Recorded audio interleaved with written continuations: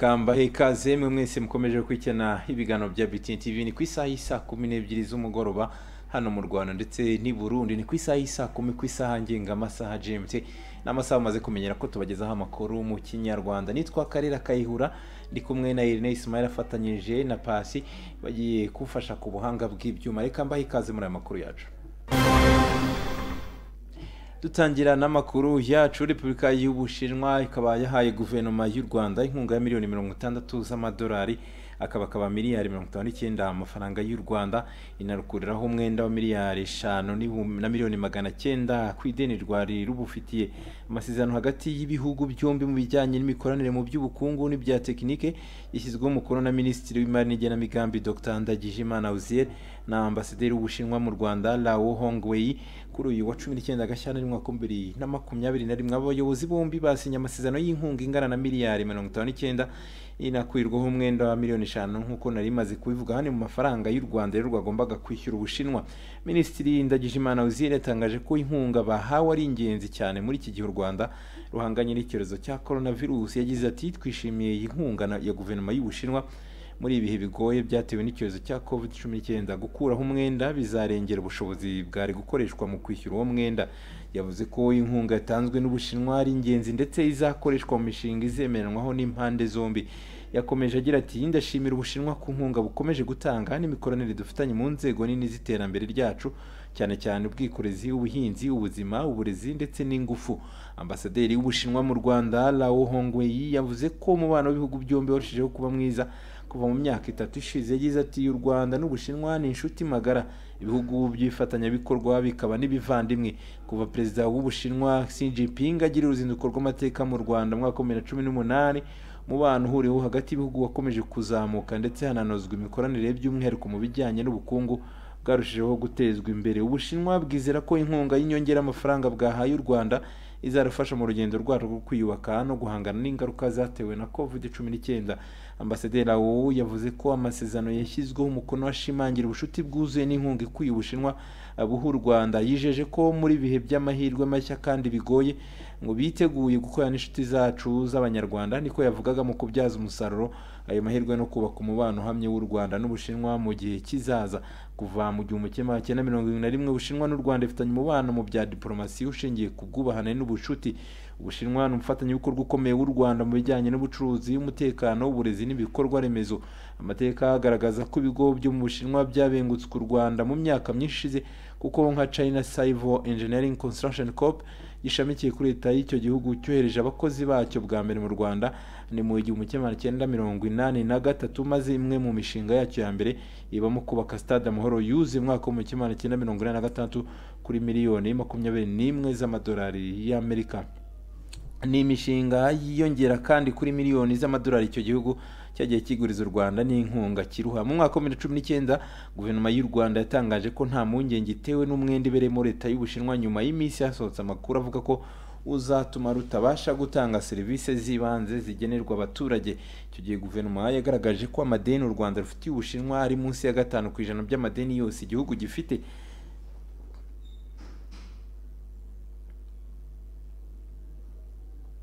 Dukomeza n'amakuru yacu mu kagari ka katabaro n'umurenge wa kimisagara mu karere ka nyarugenge. Umuturage witwa sauda aratabaza nyuma y'aho ngo imitungo yose itwawe na mukase kuri ubu ngubu akaba arimo kwibera mu itongo. Remo ingabo nziza arakomeza mu buryo burambuye n'uwitwa rutayisire jean de dieu utuye mu karere ka gasabo ni mu murenge wa kinyinya mu mujyi wa kigali. Ku bwe ngo aratabaza nyuma y'aho ngo inkiko zanzuye ko agomba kugabana imitungo n'umugore we bari barashakanye gusa bikaza kurangira imitungo itwawe n'umugore yose uko yakabayeho ngo nta na gito abonye nk'uko yagiye bigarukaho. Buranye n'umugore mu rukiko. Umugore twabanye mu buryo butemewe n'amategeko tutarashyingiwe ariko hari umutungo hari inzu twabanagamo. Umugore yarangiza ajya kundega mu rukiko ashaka ko twagabana iyo nzu hanyuma iyo nzu urukiko rutegeka ko tuzayigabana ku buryo bungana. Mu gihe rero cyo kurangiza urwo rubanza natunguwe no kwirukanwa. Bambwira ko urubanza rwarangijwe ngewe nafite aho kuba. Iryo gabana ntiryabaye. Kugira ngo numve ko bankemurira ikibazo hanyuma avuga ko tutaguze kuko ngo yaguze na leta.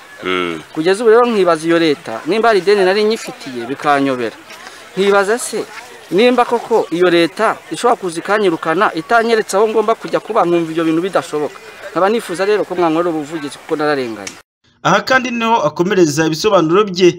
Avuga ko ibi ari uburiganya bwabaye muri iyo cyamunara agasaba ubuyobozi bw'umurenge kumufasha kubona icumbi ngo dore ko kuri ubu akomeje gusiragira. Kuri iyo cyamunara nubwo bavuga ngo yarabaye kuko ntabwo yari ngombwa. Kuko urukiko rwo rwategetse ko tuzagabana umutungo w'abantu babiri umugore n'umugabo. Nta deni nari mfite. Rero cyamunara bayizanye mu buryo bw'uburiganya kugira ngo banyanganye umutungo wanjye na rumwe n'amakuru yayo narayabuze kugeza na n'ubu ngubu umwe ambwira ibyo undi akambwira ibye umuhesha w'inkiko wayikoze arafunze baramwirukanye njye nkibaza amakuru y'iyo cyamunara bikanyobera. Nanagiye ku rugaga rwabo kugira ngo bandenganure bamfashe guhura nawe bambwira ko bamwirukanye badashobora kumukurikirana. Ubuyobozi bw'umurenge ni ukumbeshaho kuba kuko ubu ngubu narenganye simfite aho kuba ndandagaye n'abana kandi ntari nkwiye kuba mba hanze. Ubwo twateguraga iyi nkuru twagerageje kuvugana n'ubuyobozi bw'umurenge wa kinyinya ku bw'iki kibazo cya rutayisire kugira ngo twumve icyo babivugaho ndetse n'urugaga rw'abahesha b'inkiko b'umwuga ariko ntibyigeze bidukundira. Mu gihe bazagira icyo batangaza kuri iyi nkuru tukaba tuzabigarukaho mu makuru yacu ataha. Ni inkuru ya remi ngabo nziza mu ijwi rya celestin ntawuyirusha amaboko btn tv barakoze bagenzi bacu harimo ingabo nziza ndetse na celestin ntawirisha amaboko dukomeza n'amakuru yacu minisitiri w'ububanyi n'amahanga dr. Vincent biruta ndetse n'umuyobozi wa perezida wa fifa gianni infantino na minisitiri wa siporo horore mimoza munyangaje. Kuri wa gatanu bafunguye ku mugaragaro icyicaro cya fifa cyo mu karere fifa regional development office kizaba gishinzwe ibihugu byo muri afurika y'iburasirazuba. Icyicaro kikaba giherereye mu mujyi wa kigali mu karere ka nyarugenge. Muri afurika hari ibyicaro nk'iki ni dakar muri senegal johannesburg muri afurika y'epfo ndetse na addis abeba mu gihugu cya ethiopia. Ari na cyo kimuriwe i kigali perezida wa fifa gianni infantino yavuze ko impamvu bahisemo gushyira icyicaro i kigali ari uko u rwanda rukataje mu guteza imbere umupira w'amaguru ndetse n'ibindi bikorwa by'iterambere kandi bizeye ko bizanafasha akarere k'iburasirazuba u rwanda runaherereyemo ati u rwanda na kigali ni ahantu hadasanzwe. Nayibonye mu ijoro ryakeye muri gihe ukonje mbona harushaho kuba heza kandi ibikorwa by'umupira w'amaguru bigenda bitera imbere. Tugomba gukora ibirenze mu guteza umupira mu burezi mu miyoborere no kurwanya ruswa. Tugomba gukora byinshi muri afurika ndizera ko bizafasha umupira w'akarere kuzamuka. Naho minisitiri w'ububanyi n'amahanga dr. Vincent biruta wasinye amasezerano y'u rwanda na fifa yo kugira icyicaro kigali yashimira ishyirahamwe ku cyizere ryagiriye u rwanda. Avuga ko leta y'u rwanda izakora ibishoboka byose kugira ngo intego ziyemejwe zizagerweho. Binyuze muri gahunda ya fifa forward ishyirahamwe ry'umupira w'amaguru ku isi rifasha amashyirahamwe arigize muri gahunda z'iterambere ndetse rikayegereza amashami afasha kwihutisha imishinga igiye itandukanye. Ni muri urwo rwego fifa yagiye ifungura ibyicaro mu bihugu bitandukanye byo ku isi aho muri afurika kuri ubu byamaze gushyirwa i dakar muri senegal johannesburg muri afurika y'epfo na Addis Ababa mu gihugu cya Ethiopia. Iki cya nyuma ni cyo kimuriwe rero mu Rwanda mu mujyi wa Kigali. Uburyo bufasha amashyirahamwe yo mu gace kegereye iki cyicaro cya FIFA kidasi kudasigara ageza ibibazo byayo bijyanye n'iterambere rya ruhago izurica mu mususi ahubwo bigakemurirwa ku byicaro biyegereye. Muri gahunda za FIFA zo guteza imbere umupira ku isi harimo ko bitarenze umwaka wa bibiri na makumyabiri na kabiri izaba imaze gushora hafi miliyoni eshatu z'amadolari y'amerika mu bikorwa by'uyu mushinga. Kuva umushinga wa fifa forward utangiye mu mwaka wa bibiri na cumi na gatandatu ibindi bihugu byashyizwemo ibyiciro bya fifa birimo ubuhinde nouvelle zelande panama parague barbados ndetse na leta zunze ubumwe z'abarabu muri mutarama uyu mwaka ni bwo guverinoma y'u rwanda yemereye fifa kugira icyicaro mu gihugu muri gahunda iri shyirahamwe ryashyizeho ryo kongera amashami yaryo mu bice bigiye bitandukanye. Naho mu karere ka gasabo umurenge wa jari habereye imirwano hagati y'abagore babiri umwe habikomerekeramo bikomeye ni nyuma y'aho ngo umugabo bahuriyeho abagabanije imiryango ibiri y'inzu bose babamo ariko ubwumvikane bukaba bwo bwaje kuhaba. Ubuyobozi bw'umurenge buvuga ko bugiye gukemura iki kibazo. Kefe christian arakomeza. Ikibazo ukuntu kimeze ngewe niguriye ubutaka. Aje kugura ubutaka urupapuro rw'ubugure ararurigitisha. Amaze kururugitisha umugabo.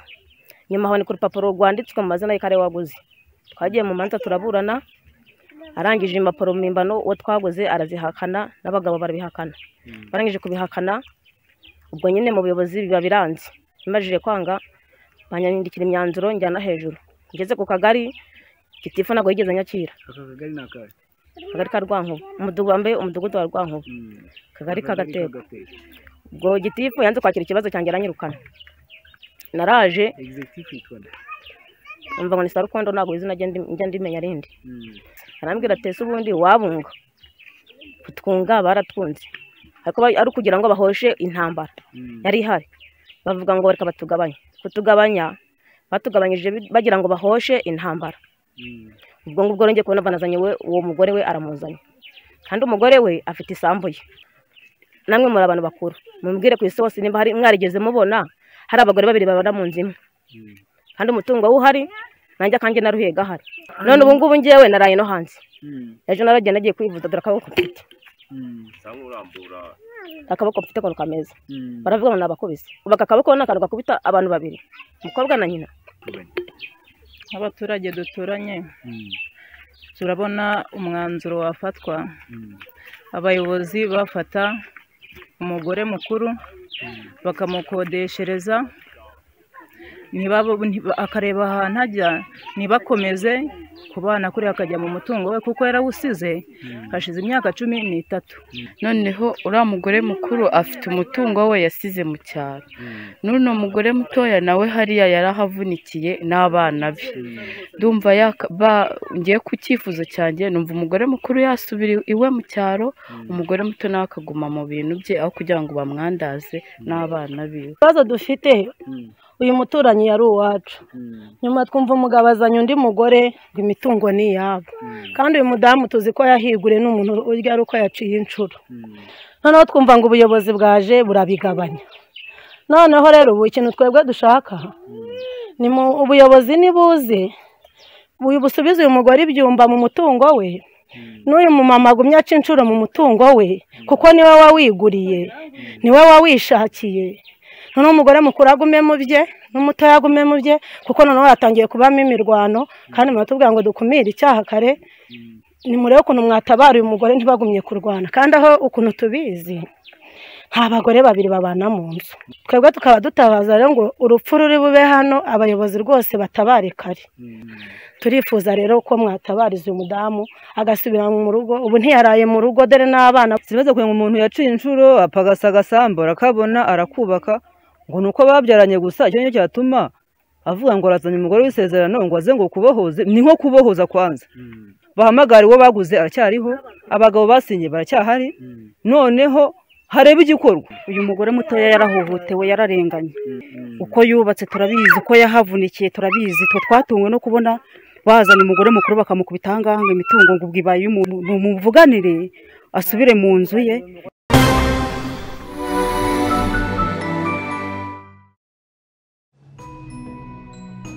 inkubi y'umuyaga ni ikiza cyangiza byinshi harimo no gutwara ibisenge by'inzu. Minema irakangurira abantu gukoresha fil galvanize cyangwa imigozi yabugenewe mu kuzirika ibisenge bakazirika neza sharupante zigakomera bagafatanya neza ibiti bya mwikorezi n'ibyo basakariraho amabati bita traverse na rampa.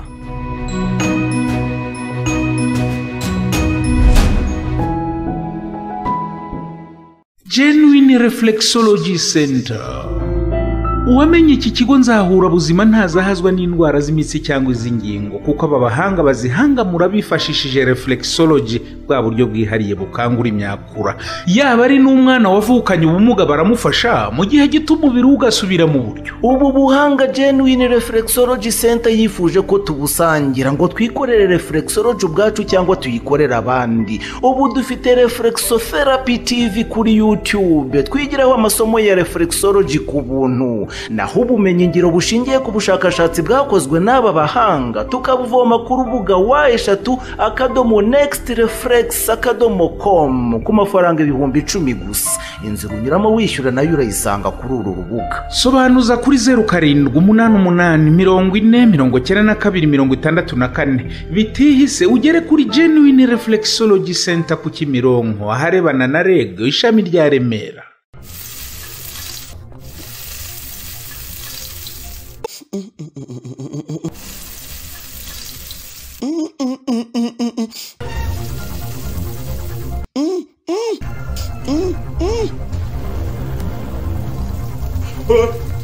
Turashize papa samu mama sa ni ukuri nawe uru rubanza rwagutsinda si we watekesheje iki kirungo cya sante?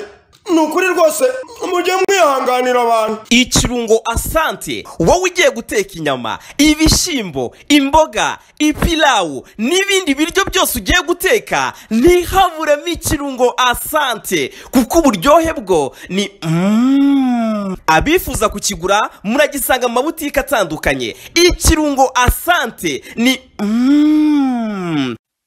Mm. wari uzi ko watumiza smartphone y'agahebuzo muri tekino yes phone. Tukayikugezaho iwawe hamagara zeru karindwi umunani umunani makumyabiri na rimwe cumi na gatatu makumyabiri na gatanu utumize iyawe tuyikugezeho mu kanya nk'ako guhumbya ndavuga kamon 16 kamon 16s na kamon 16 premier. Ikesha amafoto ku bwa megapixel mirongo itandatu n'enye. Ifata amavidewo mu buryo bugezweho bwa slow motion ikagira ububiko bw'amajiga ijana na makumyabiri n'umunani yose. Ramu y'amajiga umunani na androide ya cumi.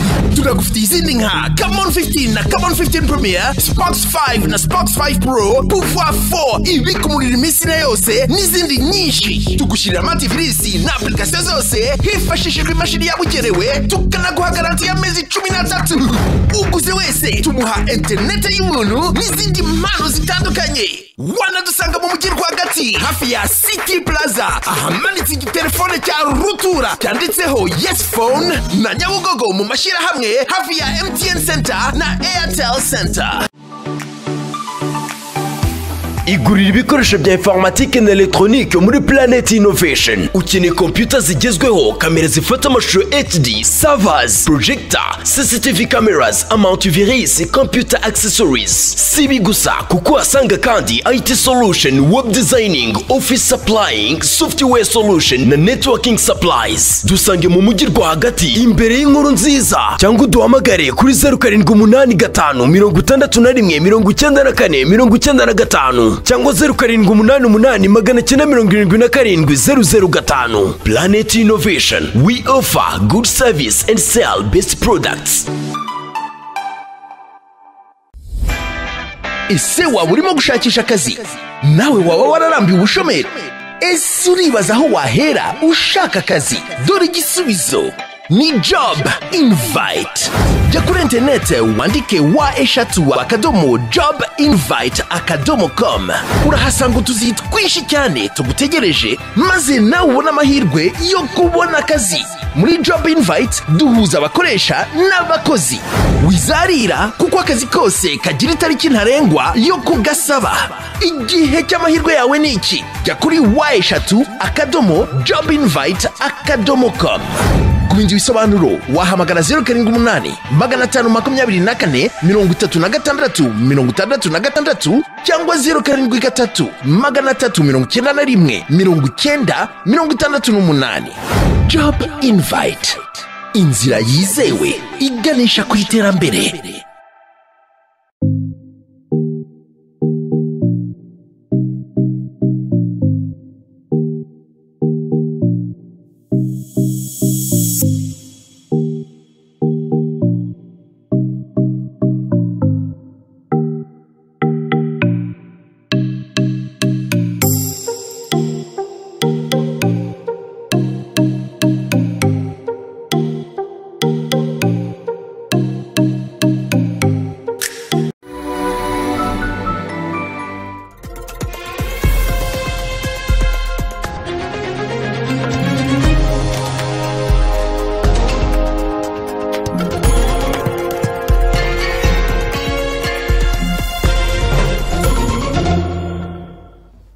Reka dukomereze amakuru yacu mu makuru avugwa hanze y'u rwanda.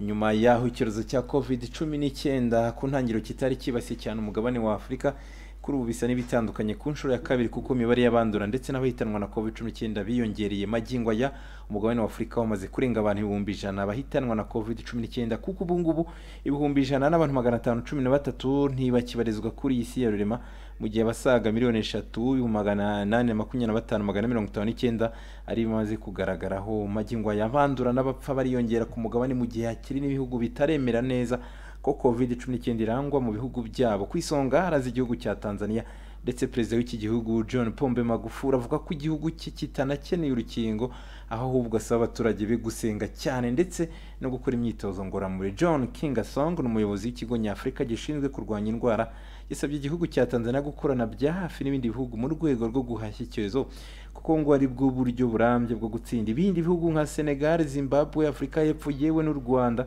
bakaba baratangiye urugamba rwo gukingira icyorezo cya covid icyenda abaturage bayo. Afurika y'epfo yifuza gukingira byibuze mirongo itandatu na karindwi ku ijana mbere y'uko uyu mwaka urangira. Igihugu cya afurika y'epfo ni na cyo cyiza eh, ku isonga mu kugira kuzahazwa na covid cumi n'icyenda cyane kuko miliyoni imwe abantu ibihumbi magana mirongo icyenda n'umunani magana mirongo itandatu na batandatu bamaze kwandura naho ibihumbi mirongo ine n'umunani magana arindwi n'umunani bo ntabwo bakibarizwa kuri iyi si.